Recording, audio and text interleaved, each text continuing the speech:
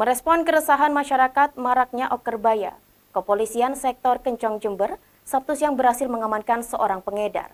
Selain menangkap tersangka, polisi juga menyita barang bukti ratusan butir pil berlogo Y.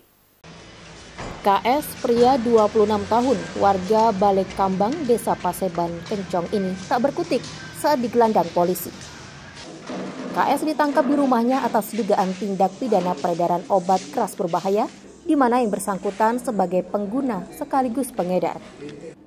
Di hadapan penyidik, KS mengaku nekat mengedarkan barang haram tersebut karena tergiur pendapatan yang mudah didapatkan. Dirinya mendapat suplai oker baya dari seorang kurir yang kemudian dijual ke para pelanggannya, yang rata-rata kalangan remaja dan dewasa. Selama menekuni penjualan oker baya ini, Mas, hasilnya untuk apa? Ya, untuk makan sehari-hari. Makan sehari-hari. Ya. nah pekerjaan sehari-hari apa sampean? Serabutan. Serabutan. Terus ya. awal mengenal kerbaya ini dari mana? Dari teman. Dari teman? Iya. Itu ya mas. Uh, dijual lagi apa dikonsumsi sendiri? Jual lagi. Jual lagi. Dan konsumsi. Apa himbauan kepada generasi muda? Ya supaya tidak meniru ini pak. Supaya tidak meniru seperti saya gitu ya mas seperti ini iya kapok ya mas misal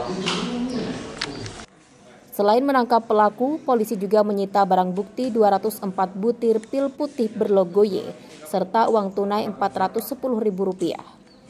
Pengungkapan ini merupakan rangkaian selama operasi Pekat Semeru 2023 dalam rangka cipta kondisi bulan suci Ramadan.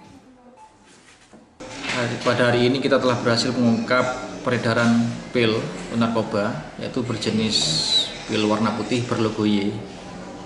Uh, eh, BB yang berhasil diamankan mas? Untuk BB yang telah kita amankan yaitu total 316 butir pil warna putih berlogo Y beserta uang uh, selama penjualan obat tersebut yaitu sekitar kurang lebih 410 ribu dari tangan pelaku. Sebagai petugas, kami selalu menghimbau kepada terutama halayak umum atau yang terutamanya lebih untuk anak-anak remaja agar menghindari eh, pemakaian atau penjualan narkoba tersebut karena sangat merusak generasi bangsa.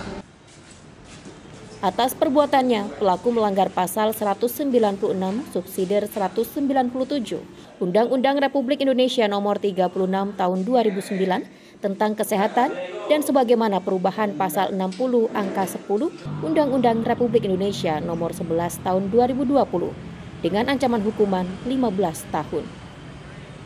Tim Liputan News FTV Jember melaporkan.